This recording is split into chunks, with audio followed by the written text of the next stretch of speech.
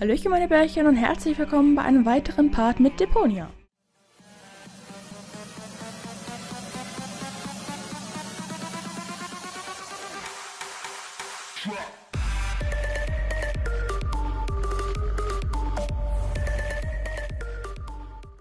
So, wir sind jetzt bei dieser Gruselstation angekommen. Haben hier letztes Mal noch Kiessteine gesehen. Dann nehmen wir natürlich nur einen mit. Äh, ist ja klar. Und jetzt probiere ich nochmal. Wir hatten ja einen Eimer bekommen. Komm hierher, komm hierher, komm hierher, komm hierher. Und wir holen uns jetzt Eimer und Tümpel. Und damit könnten wir eventuell das Musik nämlich sauber machen.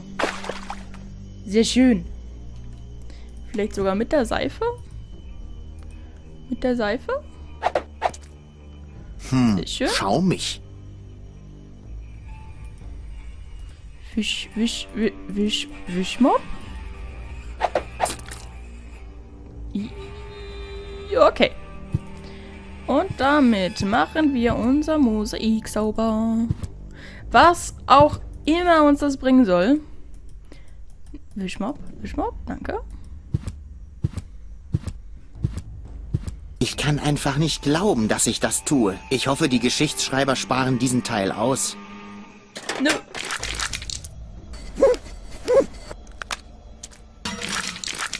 Oh, Mist. jetzt macht da auch noch alles Der kaputt. ist zerbrochen.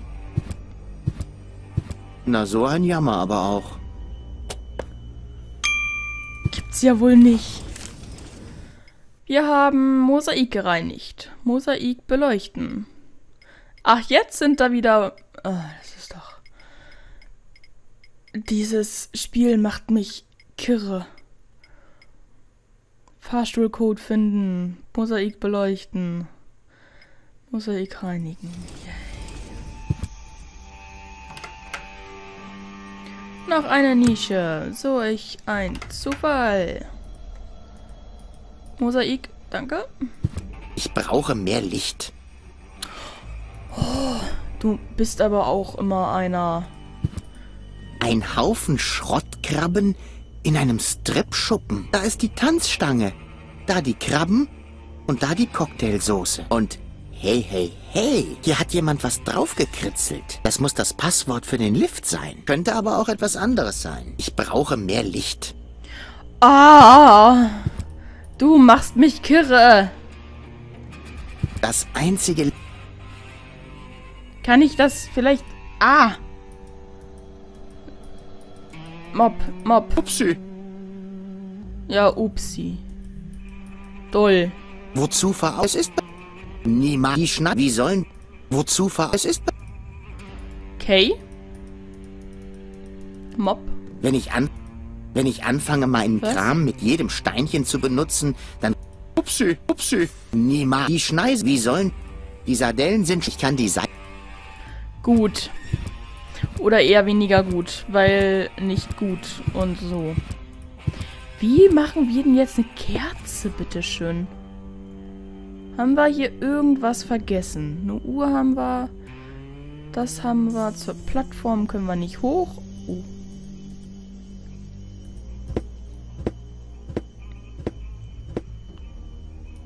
Kriegen wir? Ja, sehr schön. Öliger Mob. Upsi, ähm, upsi.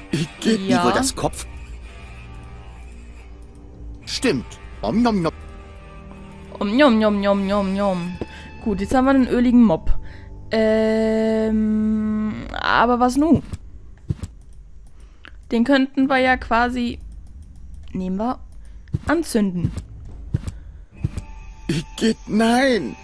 Das wird dann doch nur glitschig und eklig. Ja, das ist ja der Sinn der Sache.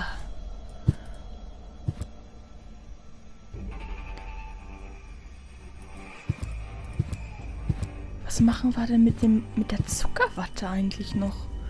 Das ist ja das ist ja alles ein bisschen Wenn wir das machen, wird er dann wieder abgewaschen? Probier das lieber beim Tümpel. Das ist viel lustiger. Okay. Nein, nicht! Du wirst den Reaktor treffen und es kommt zu einer nuklearen Zeitschleife. Wie kann ich das verhindern? Gar nicht. Einer von uns beiden muss sich opfern. Okay, tschüss. Schnick, schnack, schnuck. Verdammt. Cool. Ähm. äh. Was? Äh. ähm, ja. Ne? Das ist natürlich alles komplett normal. Das macht auch alles komplett Sinn. Und so. Irgendwie nicht. Was? Oh, ich bin verwirrt.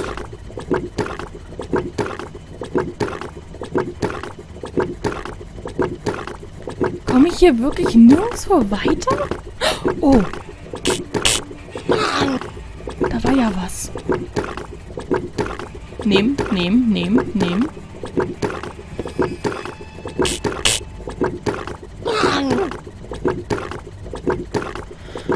Schade. Ich geht na. Ich geht. Gut, das klappt schon mal nicht.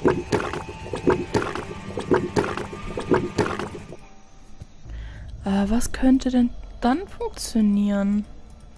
Nehmen, danke. Wer gern zu Haus mit Steinen wirft, sollte kein Glashaus mieten. Wer gern, Machst zu, du's wer denn? gern zu Nein. Haus mit Okay. Ja, ja, dann machst du es halt nicht. Kann, kann, kannst du das hier machen? Wer gern zu. Nein? Hm, das Geschoss habe ich. Fehlt nur noch die Schusswaffe. Oh, das gibt's doch nicht. Wozu voraus? Es ist, Ja, ja, ja, ja, ja. wenn ich anfange, meinen. Wenn ich an. Wenn ich anfange, mein. Ah, jetzt braucht er auch noch eine Schusswaffe? Um zu, um so einen dummen Stein zu schmeißen, oder was? Das gibt's doch nicht. Schmeiß doch diesen dummen Stein einfach durch die Gegend. Ah, warum macht das sich schwerer, als es sein muss? Ja gut, das mache ich auch immer, aber es macht ja irgendwie keinen Sinn, ne?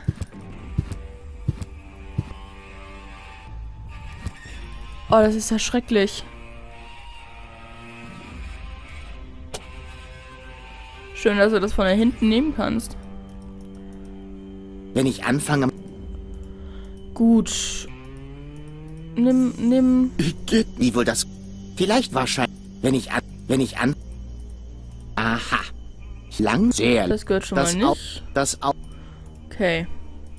Upsi. Upsi. Geht. Wie wohl das. Damit macht er gar nichts. Okay. Stimmt. Wenn ich an. Wozu fahr? Es ist bereit. Ich. Ich bevorzuge Dynamit.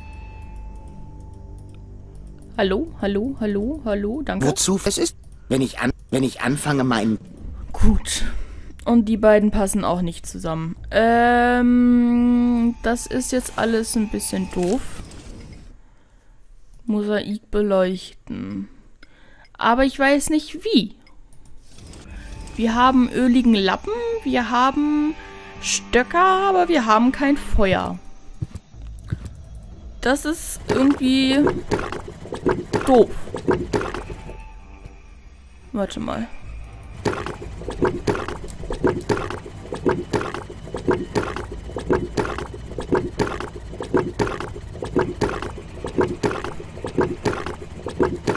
Hier haben wir nicht zufälligerweise irgendwas vergessen oder sowas. Jetzt steht da. Jetzt steht der geschmackslos, ja, ich weiß. Was, wenn ich Quersummen bilde? Was, wenn ich... Wir haben gar nicht Wette. Hm. Gut, ich habe keine Ahnung. Das ist irgendwie alles doof. Ähm...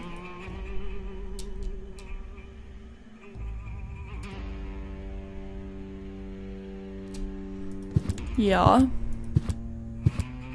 Da fehlt ein Stück Schaft. Ah, toll. Jetzt gibt er mir einen Hinweis, oder was? Kaputtes Mosaik reparieren. Ja, aha, ha. Bist du lustig. Dafür brauche ich aber erst einmal Licht. Und das Licht habe ich noch nicht. Aber das macht er mir ja nicht. Weil er es nicht will.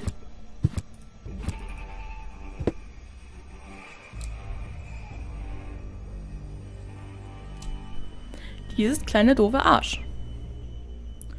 Öltank, Ölklappe. Öl haben wir ja schon. Können wir mit der Phosphorwatte da vielleicht auch noch mal rein? Stimmt, Zucker im Tank ist lustig. Aber dieser Fahrstuhl bringt mich vielleicht nach Elysium. Okay, das will er nicht machen. Dann macht das halt nicht. Aber es bringt mir ja trotzdem alles nichts weiter. Ähm... Haben wir da vielleicht was vergessen?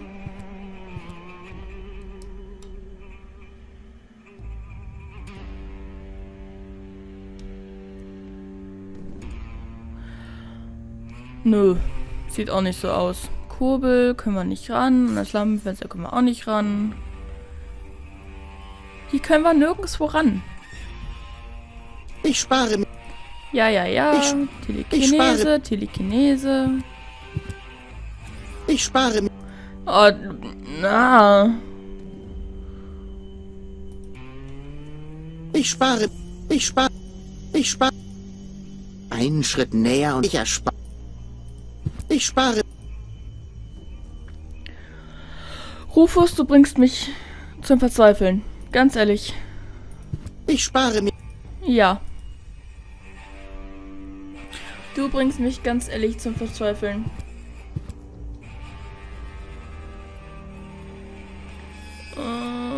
Verstehe ich am Leben nicht. Können wir die kaputt machen? Wer gern zu Haus mit Stein. Wer gern Ach zu. ja, da war ja was. Da war ja was. Die Nische können wir nur zumachen. Wieder aufmachen und wieder zumachen und wieder aufmachen und wieder zumachen. Das bringt mir aber alles nicht weiter. Haben wir hier irgendwas vergessen? Hier können wir nur die zwei Sachen machen. Äh.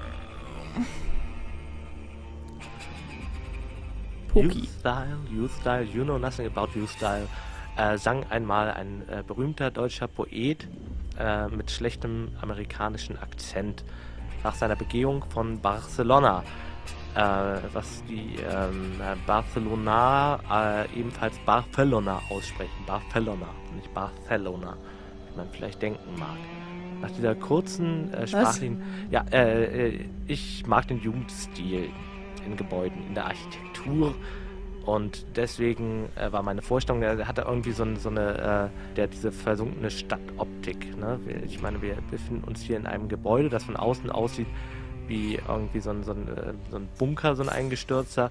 Von innen ist es ein wunderschöner Jugendstilbahnhof. Und ja, das äh, ist auf meinen Mist gewachsen, dieses Ungleichgewicht. U-Style. Das bringt uns aber nicht weiter. Poki. Dieser Screen äh, sieht jetzt noch so unbelebt aus, aber gerade deswegen möchte ich darüber reden, denn ist äh, eines der, der guten Beispiele für mein Bestreben, möglichst tatsächlich äh, Orte auf sehr unterschiedliche Weise als Spieler kennenzulernen. Erstmal benutzt man einen Ort, eine Location, einen Screen auf eine Art und Weise, dann muss man später kommt man nochmal zurück und benutzt ihn auf eine ganz andere Art und Weise noch einmal. Das finde ich irgendwie einen sehr spannenden Perspektivwechsel. Und ich darf leider überhaupt gar nicht so viel darüber verraten, aber ihr, äh, ja, ihr, ihr werdet euch wundern, wo man hier noch alles äh, längs krabbeln und äh, schlawenzeln kann. Ebenfalls zum Thema Perspektivwechsel. Hier muss ich einen kleinen Perspektivwechsel machen und zwar nochmal äh, zurück zur dramaturgischen Sicht und weniger zur, zur äh, rein kosmetischen Sicht. Nämlich hier an dieser Stelle habe ich in einer willkürlichen Item-Objekt-Reaktion einen kleinen Sachverhalt vorweggenommen dem ich später natürlich noch sehr intensiv spiele, und zwar der Verdopplung von Rufus. Hier gibt es nämlich tatsächlich ein kleines, äh, man mag fast sagen, Easter Egg, dass Rufus, wenn er halt was versucht, in diesen Tümpel zu werfen, etwas sehr, sehr Absurdes passiert, wo ich sehr gelacht habe beim Schreiben. ich hoffe, es macht euch auch Spaß. Ja, das hat es auf jeden Fall. Ich weiß nur nicht, ob uns das in irgendeiner Weise weiterhilft. Ähm, das war schon klar, dass wir hier nochmal herkommen würden, ähm, müssen, vor allem wegen diesen Sachen hier. Da kommen wir ja so nicht ran. Ähm, ja. Und ich kann diese Sache nicht mehr auf einem Klick annehmen. Hallo, danke.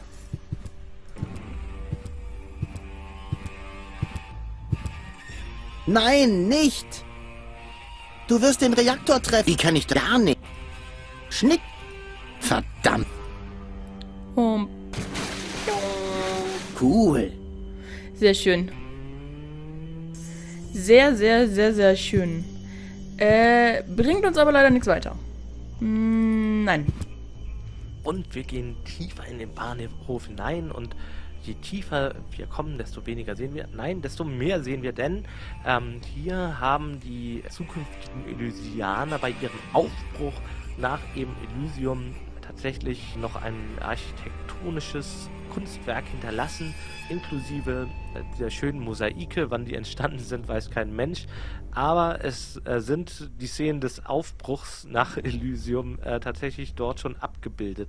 Es scheint keinen Sinn zu machen, aber ähm, man kann sich gut vorstellen, wie die äh, zurückgelassenen Glasbläser und Tiffany äh, Glaskunsthandwerker, wie, wie nennt man das? Keine, keine Ahnung, äh, dass die äh, aus lauter Frust darüber, dass sie nicht mitgenommen wurden nach Elysium, dass die hier äh, diese Kunstwerke im Fensterglas hinterlassen haben und ihren ganzen Zorn über diesen äh, empörenden Aufbruch und die Nichtmitnahme nach Elysium hier äh, hinterlassen haben.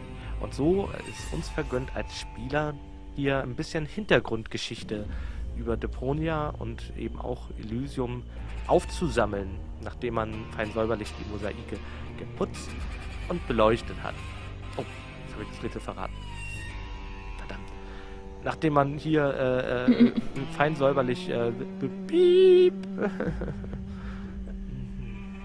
und natürlich musste ich mir da was ausdenken, weil ich hatte keine Vorgeschichte ausformuliert. Aber ein wichtiges äh, Ritual auf Deponia ist scheinbar auch der Grill-Donnerstag. Der Grill-Donnerstag? Äh. Haben wir hier zufälligerweise gerade Donnerstag? Grill-Donnerstag. Gut. Das bringt uns jetzt aber ehrlich gesagt auch noch nicht weiter. Das, was wir geputzt haben, haben wir ja schon gemacht und beleuchten ähm, wussten wir jetzt auch schon. Äh, ja. Fahrstühle gehören eigentlich in jedes Medienprodukt, denn sie sind eine immer zutreffende Metapher. Das Leben ist ein Auf und Ab. Ein ständiges äh, Fahrstuhl. Fahrstuhl. Ähm, ich wollte eine Fahrstuhlszene in Neponia haben und deswegen habe ich schon mal vorsorglich einen Screen mit einem Fahrstuhl drin geskribbelt. Denn Fahrstuhlszenen sind einfach grundsätzlich überlegen äh, gegenüber allen anderen möglichen äh, Szenen in Filmen, vor allen Dingen. Ich liebe zum Beispiel diese Fahrstuhlszene in Krieg der Sterne, also den, den richtigen ersten Krieg der Sterne, also Episode 4 heißt es heutzutage, eine neue Hoffnung, wo sie halt falsch rum im Fahrstuhl stehen und sich dann halt irgendwie erstmal wundern, warum die Tür nicht aufgeht und sie geht hinter ihnen auf. Äh, Finde ich hervorragend. Oder eine andere meiner Lieblingsfahrstuhlszenen, oder vielleicht die allerbeste aller Fahrstuhlszenen ist in, in äh, Blues Brothers, äh, wo sie da halt irgendwie äh, mit dem Fahrstuhl hochfahren und draußen fährt die ganze Polizei auf und die stehen da einfach nur blöd rum und hören diese bescheuerte Fahrstuhlmusik. Es gibt noch sehr, sehr viele andere Beispiele, die ich jetzt aber gar nicht aufzählen kann. Viel wichtiger ist doch. Ähm, Im Endeffekt ist die tatsächliche Fahrstuhlszene, äh, wie ich sie mir vorgestellt habe, im dritten Teil gelandet. Gar nicht hier im ersten. Aber der Fahrstuhl ist übrig geblieben. Und ja, wir haben auch hier ein bisschen äh, Spaß mit, mit Fahrstühlen. Äh, bislang habe ich noch keinen Spaß an Fahrstühlen. Ähm, aber dann wissen wir ja schon mal, wir sind immer noch im ersten Teil. Yay! Und mit äh, Life is Strange bin ich fast, äh, fast vorbei. Äh, fast rum. Äh, ja. Deponia kann ein sehr langwieriges äh, Spiel werden. das. Äh, vor allem, wenn man nicht weiterkommt. Und Poki, du hilfst uns gerade nicht wirklich.